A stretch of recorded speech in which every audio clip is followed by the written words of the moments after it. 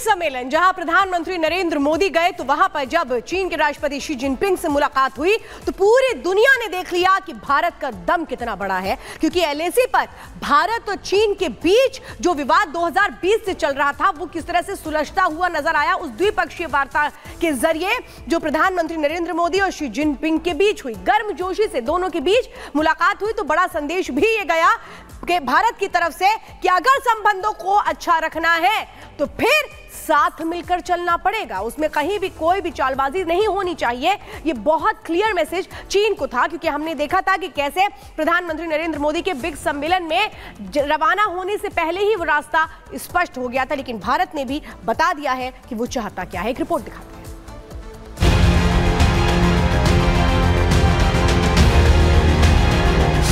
पाँच साल बाद मोदी जिनपिंग की सीधी बात। 50 मिनट तक मुलाकात। क्या हुई बात? क्या फिर दोस्त बनेंगे भारत और चीन? नवंबर 2019 की वो तारीख थी। ब्राज़ील वो जगह थी, जब प्रधानमंत्री नरेंद्र मोदी और शी जिनपिंग की मुलाकात हुई थी। और ठीक उसके पाँच साल बाद रूस के कजान में दोनों नेताओं के बीच द्विपक्षीय बैठक हुई, जो कई मायनों में खास थी। बैठक में कई अहम मुद्दों पर चर्चा हुई, जिसमें खास तौर पर बॉर्डर पर शांति बनाए रखने की बात रही। शी जिनपिंग से मुलाकात के बाद पीएम मोदी ने कहा कि हमारी मुलाकात पाँच साल बाद हो रही है। हम बॉर्डर पर बनी सहमति का स्वागत करते हैं और सबसे बड़ी बात कि एक दूसरे का सम्मान होना चाहिए। आपसे मिलकर खुशी है और जैसा आपने कहा, पाँच साल के बाद हमारी ये फॉर्मल मीटिंग हो रही है, सीमा पार पिछले चार वर्षों में उत्पन्न हुए मुद्दों पर बनी सहमति का हम स्वागत करते हैं। सीमा पर शांति और स्थिरता बनाए रखना हमारी प्राथमिकता रहनी चाहिए। तो वहीं दूसरी तरफ़, चीन के राष्ट्रपति शी जिनपिंग ने कहा दोनों पक्षों के लिए ज़्यादा से ज़्यादा संवाद और सहयोग करना, अपने मतभेदों और असहमतियों को उचित रूप से संभालना और एक दूसरे के विकास, आकांक्षाओं को पूरा करने में सहायता करना महत्वपूर्ण है। साथ ही, जिनपिंग ने कहा, दोनों पक्षों के लिए ये भी महत्वपूर्ण है कि वो अपनी अंतर्राष्ट्रीय जिम्मेदारियों को निभाए। विकासशील देशों की ताकत और एकता को बढ़ाने के लिए एक उदाहरण स्थापित करें और अंतर्राष्ट्रीय संबंधों और लोकतंत्र को बढ़ावा देने में योगदान दें।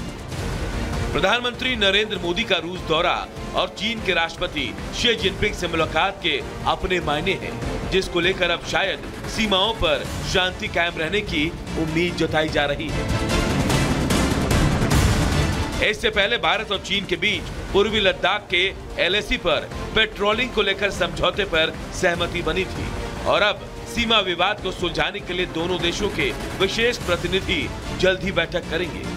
इसमें भारत की तरफ़ से एनएसए अजीत डोभाल और चीन की तरफ़ से विदेश मंत्री वांग ये होंगे।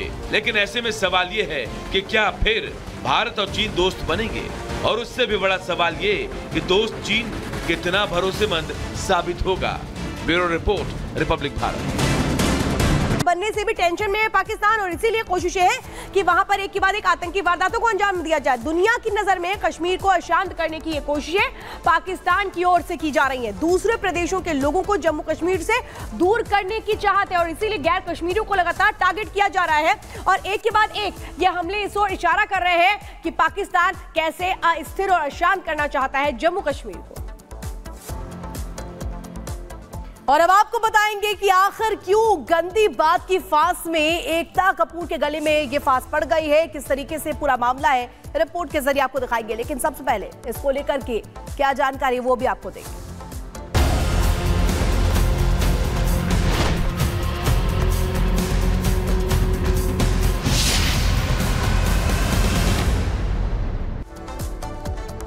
तो देखिए, लगातार मुश्किलें जो है, एकता कपूर की बढ़ती हुई नज़र आ रही है। गंदी बात की जो फास है, उनके गले पड़ चुकी है। इस बीच एक बड़ी खबर सामने आ रही है। एक बड़ी खबर बता दें, यहाँ पर अश्लील कंटेंट मामले में आज एकता कपूर की पेशी मुंबई।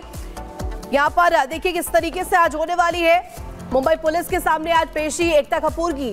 तो अश्लील कंटेंट को लेकर के एकता कपूर के खिलाफ पुलिस ने केस दर्ज किया है। पॉक्सो की धाराएँ इसमें शामिल हैं और इससे पहले भी मुंबई पुलिस ने एकता और उनकी माता से पूछताछ की थी और अब एक बार फिर से आज मुंबई में पुलिस के सामने उनकी पेशी। मुंबई पुलिस लगातार सवाल जवाब करेंगी।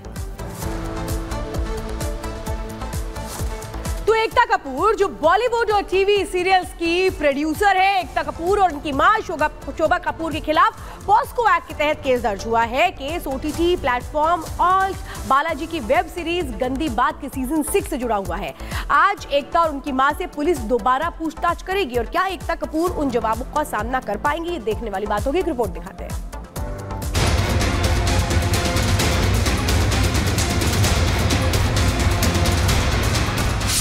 कानून के घेरे में टेलीविज़न क्वीन।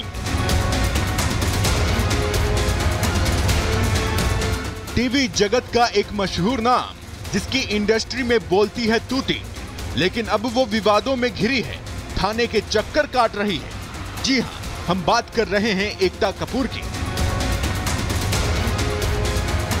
सोप ओपेरा के कई शानदार हिट्स देने के बाद एकता ने ओटीटी का रुख किया। ओटीटी में भी कई वेब सीरीज़ प्रोड्यूस किए। लेकिन गंदी बात पर एकता फंस गई। एकता और उनकी माँ शोभा कपूर के खिलाफ मुंबई पुलिस ने पॉस्को एक्ट के तहत शिकायत दर्ज की है। और आज फिर से दोनों को बोरीवली के एमएचबी पुलिस ने पूछताछ के लिए बुलाया।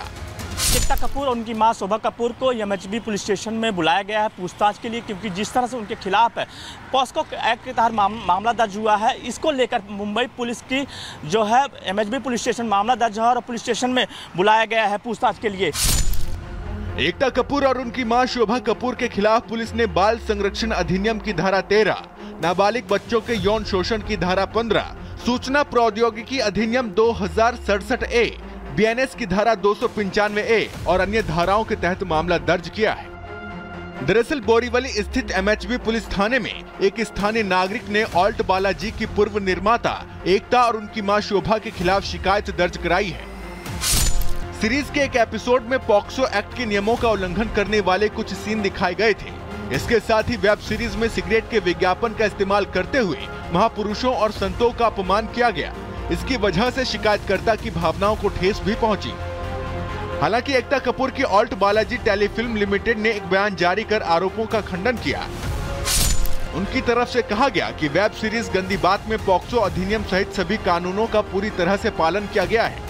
और नाबालिगों को आपत्तिजनक तरीके से नहीं दिखाया गया है। बयान में ये भी कहा गया है कि शोभा और एकता कंपनी के दिन प्रतिदिन के कामकाज में शामिल नहीं है और कंटेंट की रणनीति अलग अलग टीमें बनाती हैं। ये पहला मौका नहीं है कि किसी विवाद को लेकर निर्माता एकता कपूर का नाम सुर्खियाँ बटोर रहा हो। इससे पहले उनकी वेब सीरीज़ ट्रिपल एक्स को लेकर भी मामला कोर्ट तक पहुँचा था। Bureau report, republic Bharat.